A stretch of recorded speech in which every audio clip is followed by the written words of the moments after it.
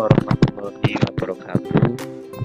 Bapak Ibu semuanya Kali ini saya akan memberikan tutorial Bagaimana cara membuat media pembelajaran di Bitable. Pertama yang perlu kita lakukan adalah kita masuk di bitable.com appbitable.com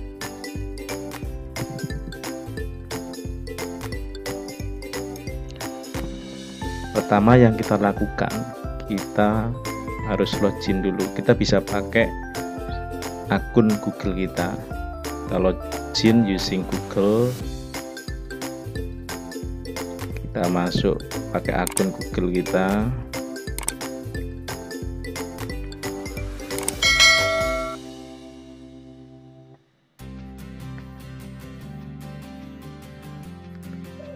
Di table loading nah, kemarin saya sudah membuat satu pembelajaran.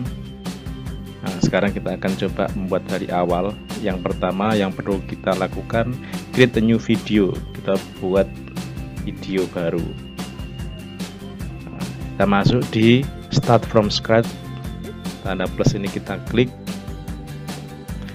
Kita mau membuat media pembelajaran materi apa kita buat judulnya di sini. Misalkan kita mau membuat simbiosis misalkan. Kita klik judulnya get start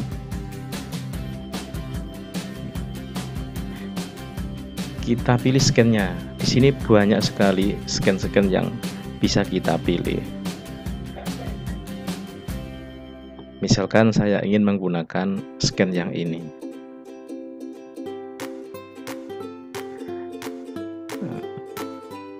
Di sini ada garis-garis ini.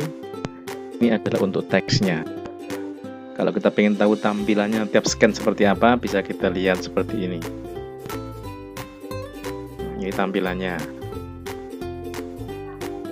Mana yang cocok menurut Bapak Ibu mungkin untuk pembuka kita bisa memberikan logo.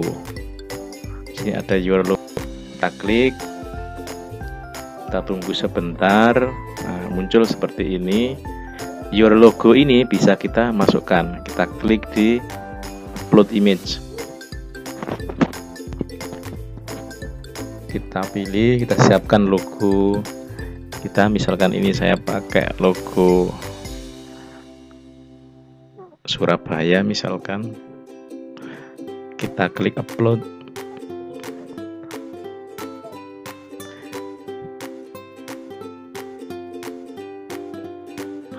Masih proses. Kita geser ke bawah. Your tag enter text for your scan here. Kita isi.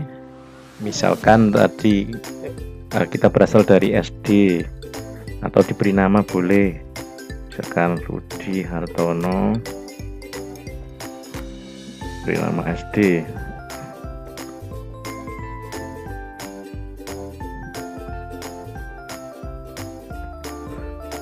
seperti ini.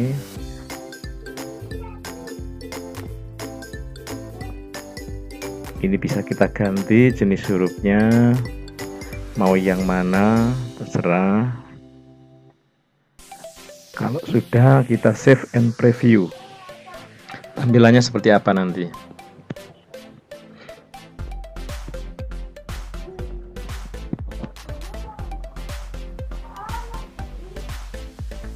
Tunggu.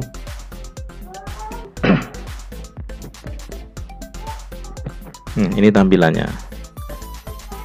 Ini ada scan yang pertama di sini ada timeline kita bisa mengganti color ini ada audio.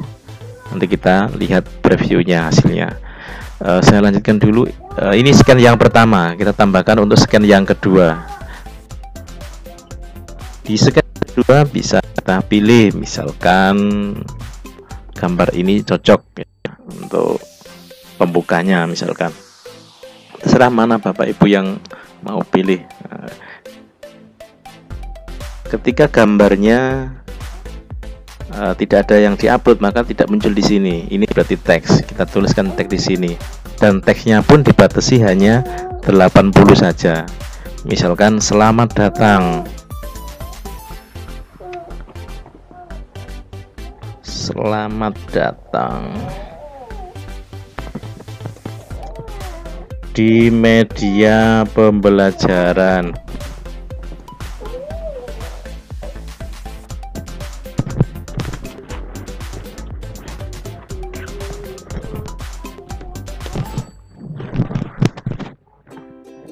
Kita klik save and preview.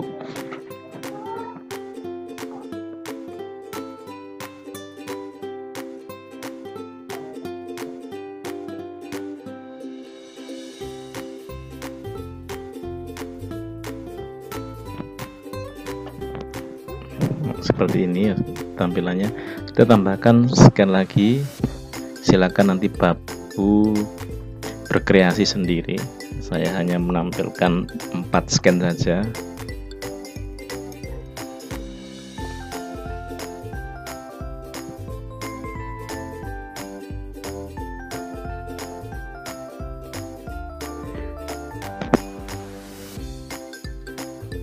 Kita tulis materinya misalkan simbiosis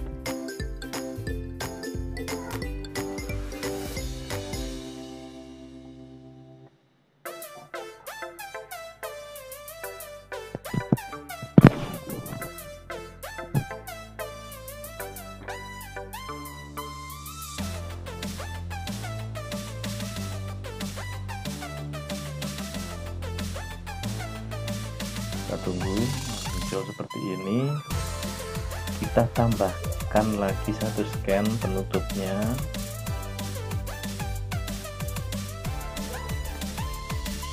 Akan seperti ini. Kita klik. Kita beri tulisan. Terima kasih. Semoga bermanfaat. Mau ganti atau jenis fontnya silakan. Suka-suka bapak ibu. Setelah itu kita klik save and preview.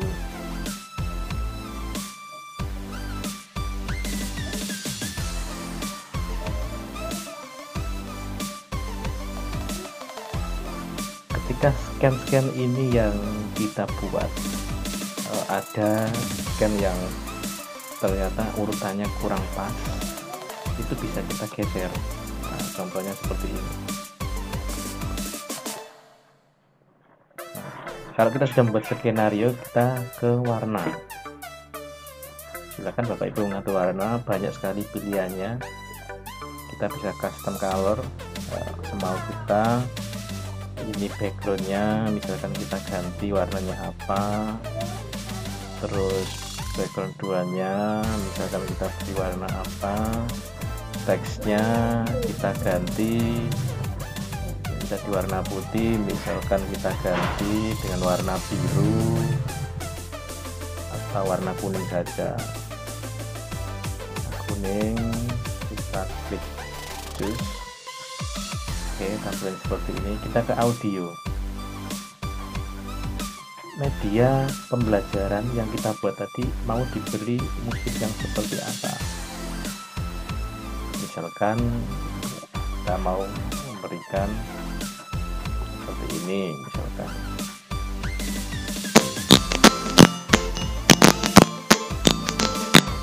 Atau yang lain silakan bapak ibu pilih.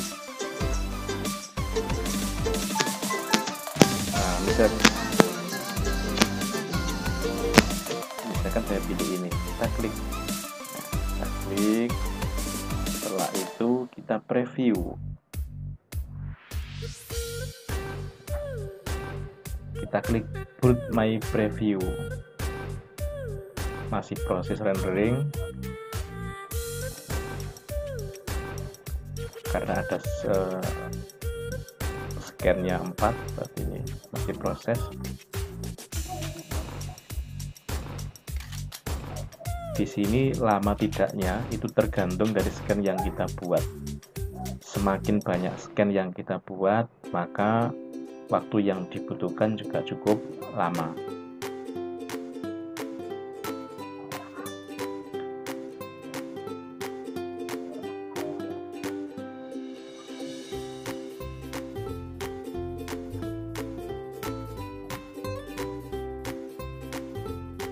Oke, sudah di scan yang ketiga.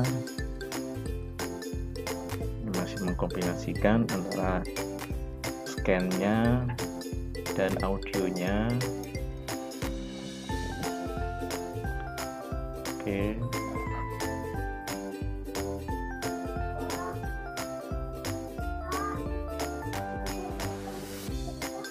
Silakan nanti Bapak Ibu berkreasi boleh pilih model gambar-gambarnya atau scan-scannya banyak sekali tadi. Tidak hanya harus di satu scan itu tadi. Silakan beralih lagi ke yang scan yang lain. Kita tunggu dulu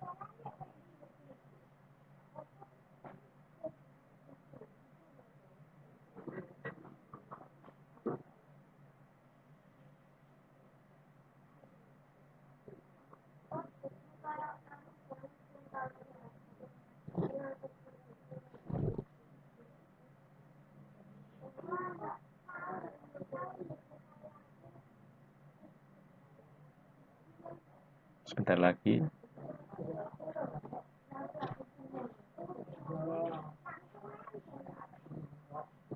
Ini adalah salah satu alternatif yang bisa Bapak Ibu berikan kepada siswa-siswinya untuk memberikan materi. Jadi tidak hanya dengan eh, kuis-kuis uh, form quiz bisa kita melalui video pembelajaran seperti ini.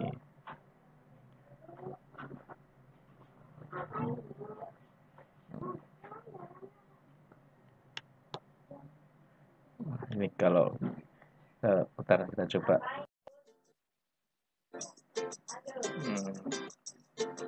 Hmm.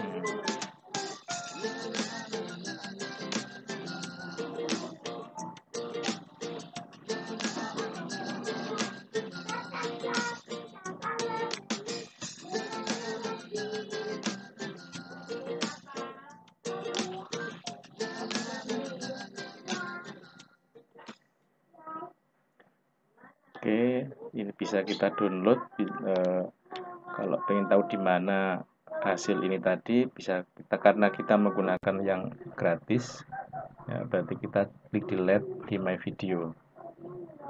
Nah ini, ini yang kemarin saya buat, ini yang barusan saya buat. Kalau pengen download, tinggal klik ini.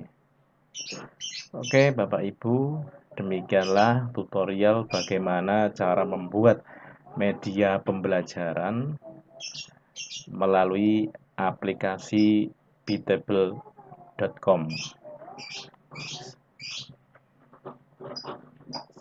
Saya kira cukup. Assalamualaikum warahmatullahi wabarakatuh.